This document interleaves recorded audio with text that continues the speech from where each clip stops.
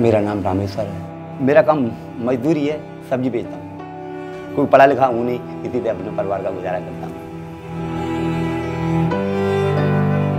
मेरा सपना बस यही था कि मुझे चैन से दो रोटी मिलती रहे और मेरा परिवार भूखा ना रहे। राव सर जैसे इंसान जो दर्द को पहचानते हैं, दुनिया का दर्द पहचानते हैं, उन्होंने मेरी देखो पुकार सुनी। मेरा कितना सौभाग्य है कि सर मुझे बुला रहे हैं। भरत मिलाप होता है, जैसे सुदामा का। और कृष्ण जी का मिलाप हुआ था। शायद है, आज मेरा।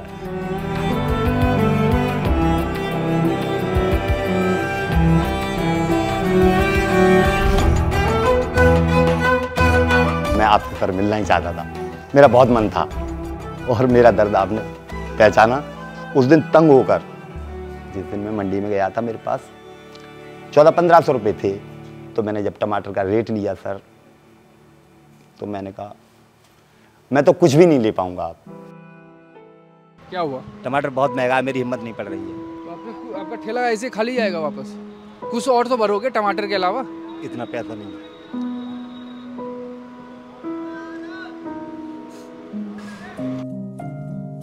यानी घर के गुजारे के लिए जैसे सौ दो सौ पचास पैदा करके लाऊँगा। मैंने कहा कुछ भी नहीं ले पाऊँगा फिर लल्लन टॉप वाले उन्हीं से मैंने कहा था मुझे राहुल सर से मिलना है ज़रूर मिलना है। मेरा मन बहुत उछल उछल के कह रहा है एक बार सर से ज़रूर मिलूँगा। मुझे आप सर क्यों बुला रहे हो? मैं सर थोड़ी हूँ। मेरा नाम राहुल है आप मुझे राहुल बोलो। तो राहुल सर से मैंने कहा मैं मिलूँगा। सर नहीं बोलना। तो कहाँ से आए आप? जागीरपुरी से आए हैं अच्छा ओरिजिनल कहाँ से यूपी? ओरिजिनल यूपी के। क्या करते थे पापा? पापा अनाज की तोलाई कर किया करते थे। पापा भी मजदूरी करते थे और पा, जब पापा एक्सपायर हो गए तो कैसे एक्सपायर हुए? बीमारी थी उनके क्या एज थी आपकी? सांस की बीमारी थी। दमा। हाँ दमा। द, सांस फूलता था उनका। मुझे भी हल्का हल्का हो गया। यानी रिक्शा खींचते खींचते नहीं खींचता है फिर भी खींचता हूँ। गाँव में फिर भी खुशहाल थे। यहाँ आगे बहुत आपने सोचा होगा कि देखो हमने शहर जाएँगे तो शायद थोड़ा अच्छा होगा। हाँ हमने सोचा था हम जैसे दिल्ली जाते हैं तो हमें वहाँ खुशहाली मिलेगी। हमारा परिवार अमन चैन में रहेगा यानी सही रहेगा। हमारा खान पान सही हो जाएगा दोनों टाइम का। मगर यहाँ और ज़्यादा बदतर हो गया। गरीबी में झुलसता ही रहा झुलसता ही रहा झुलसता ही रहा। सर मेरा कुछ नहीं है मेरा तो बस इतना ही है दोनों टाइम का खाना मिल जाता है मुझे। और मिलता है फिर भी खुशी। कम मिलता है तो ज़्यादा पानी पी लेता हूँ। अब बच्चों के लिए इतना भी नहीं है कि किसी नीचे के अगर बरसात होती है तो मैं किसी छत के नीचे इन्हें ले जाऊँ। कहाँ बिठाऊं कहाँ क्या करूँ। अब गाँव में एक मकान भी है वो सर किस टाइम गिर जाए किस टाइम ना गिरे कोई भरोसा वहाँ कौन रहता है। कोई हमारा है ही नहीं और कोई नहीं खाली हमारा हाँ। अब तो आप हैं हमारे परिवार के सर हमारा कोई नहीं है इस परिवार में। आपने पिछले दस साल में क्या क्या काम किए? सर मेरे पास ज़मीन ऐसे ज़मीन पर कोई काम नहीं है। लक्कड़ मैंने मशीन से लक्कड़ मैंने फाड़ी है। ईंटें मैंने पाती हैं जो मकान बनाते हैं। डस्ट रोड़ी गिट्टी बदरपुर ये इसकी पल्लेदारी मैंने की है। डीएपी यूरिया इसकी गाड़ियाँ मैंने उतारी हैं। रोड मैंने तोड़े हैं। नदी से पत्थर निकाल निकाल के डंफर मैंने भरे हैं। ऐसा कोई काम नहीं है जो सर मैंने ज़मीन पर न किया हो। तो परिवार को मैंने यहाँ तक ले आया मैं सर। अब आगे की मेरी हिम्मत नहीं है क्योंकि अब रिक्शा भी नहीं चलता है टांगों में दर्द होने लगता है तो बैठ जाता हूँ किसी पेड़ के नीचे। आप इतनी मेहनत करते हो। आपको लगता है कि आपकी जो मेहनत तो- हो रही है मेहनत तो सर उसका आपको फल मिल रहा है हिंदुस्तान में? मुझे तो सर कोई फल नहीं मिला मैं तो मेहनत मेहनत तो कर रहे मेहनत किए ही जा रहा हूँ मैं तो। सरकारी ऐसी है सर किसी कि जब कोई सरकार वाले सुनते ही नहीं किसी की। आप लोगों ने मेरी सुनी है तो आपसे मैंने अपनी गुहार बताई है। जो गरीब है वो तो खत्म होता जा रहा है और जो अमीर है वो आबाद होता जा रहा है। मेरे पास आ मेरी बेटी आ बैठ। हाँ परिवार है ये परिवार है भैया तेरे? कौन सी बुक अच्छी लगती है? मेरे को पोल साइंस ज़्यादा अच्छी लगती है। पोल साइंस क्या उसमें क्या अच्छा लगता है?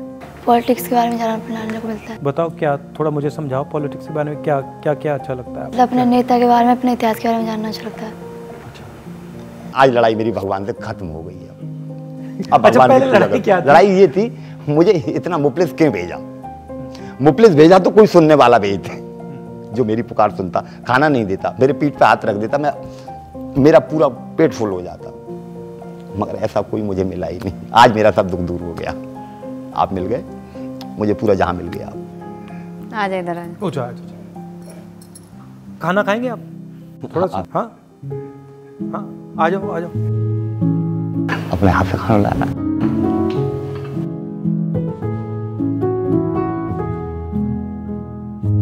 हाँ, आज इनका व्रत है। व्रत? है। तो फल भी अलाउ नहीं आपको? नहीं खा लूँगी। मैं लाता हूँ। आप लीजिए आप लीजिए।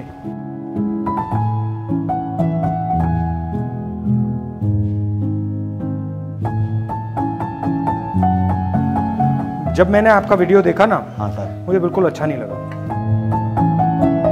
तो मैंने सोचा कि आपसे मैं जाके मंडी में मिलूं। हाँ उस दिन दूसरे ही दिन आपको मालूम था कि मैं आपको मिलने हाँ, आपको ढूँढने गया था। हाँ दूसरे ही दिन पहुँच गए थे आप। खाइए खाइए खाइए खाइए। पर मैं देखना आपसे बात करना चाह रहा था। आरतियों का बर्ताव आप, आपके, आपके साथ कैसा होता मैं गया था। आरती को बर्ताव क्या? छोटे आदमी की तो कोई गिनती है नहीं जैसे चार लोग ले रहे हैं। एक एक यानी पीस ले रहे हैं। तो मेरी आधी पीस लेने की हिम्मत है तो आपसे कहीं पाओ जी आप ले लो आधा मुझे दस रुपये महँगा दे दो आधा ले लो आप तो मेरा तो दो चार लोग होते हैं उन्हीं का हाथ जोड़ लेता हूँ कि भैया तुम सब लेते हो थोड़ा मुझे भी दिलवा दो। ऐसे भी दे अब बीमार पड़ गया अब जैसे मेरी टांग में लग गई तो मैं काम पे नहीं जा पाया तो ऐसे थोड़ा थोड़ा करके कर्जा भी हो गया। कितना कर्जा हुआ? कर्जा फिर बेटे की शादी की थी सर। उसमें कितना पैसा लगा चार लाख रुपये साढ़े तीन पौने चार लाख रुपये का जाएगा हम ब्याज बढ़ जा रही है हम पे। और लोन कहाँ से लिया आपने? हमें लोन कहाँ से मिल जाएगा कोई हमें ज़मीन है ना तो मतलब है। विश्वास पे दे दी विश्वास पे दे दिया कि हाँ ये देगा मरते मरते देगा। किस रेट किस रेट पे दिया? चार परसेंट लेते हैं। कोई पाँच अब मेरी मुझे तो ज़रूरत है मुझे पाँच पे दोगे छः पे दोगे मुझे तो ज़रूरत है मुझे तो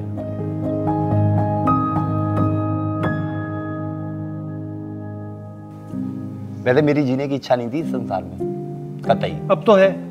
हाँ आप शायद अब आप ऐसी बात नहीं करोगे। भगवान ने आशा बना तो दी है। अब आप ऐसी बात नहीं करो। जैसे केवट की नाव है। बीच में फंसी थी किसी ने धक्का लगा दिया तो पार हो गई।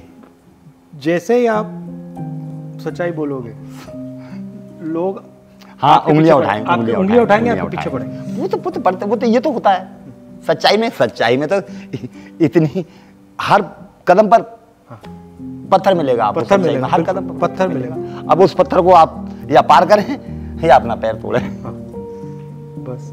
अगर आपके दिल में कुछ है और आपने बोल दिया मैं वो कमज़ोरी थोड़ी है। कमज़ोरी नहीं है वो तो ईमानदारी है। ईमानदारी है। ईमानदारी है। आपको दूसरे लोगों के बारे में नहीं सोचना चाहिए। वो कहेंगे वो कहते रहेंगे। आप उनके बारे में मत सोचिए। आप जो सच्चाई है उसको पहचानिए और उस पर काम कीजिए। आपके पापा वही तो कर रहे हैं। न्याय स्कीम था हमारा। उसमें हर गरीब व्यक्ति को साल के बहत्तर हज़ार रुपए सीधे बैंक अकाउंट में उसके बारे में आप क्या सोचते हो? महीने के छह हज़ार सर फिर तो आम जनता ऐसी हो जाएगी। सर इससे बड़ा सुकून जनता को कहीं मिल मिलेगा ही नहीं कभी। अगर ऐसा होता है तो इससे बड़ा सुकून तो जनता को कभी हमने सोचा था कि ये ये करना चाहिए क्योंकि तो अरबपतियों को इतना पैसा मिलता है इतना कर्जा माफ़ होता है जनता हाँ तो थोड़ा सा पैसा सही बात है गरीबों हमारे गरीबों को गरीबों गरीबों को बिल्कुल दिया जाए। उनका हक बनता है। इतना दुख किसी ने नहीं झेला होगा। आप घबराओ अब नहीं अब नहीं घबराना आपको। आपके में नहीं बताऊँ। नहीं घबराना।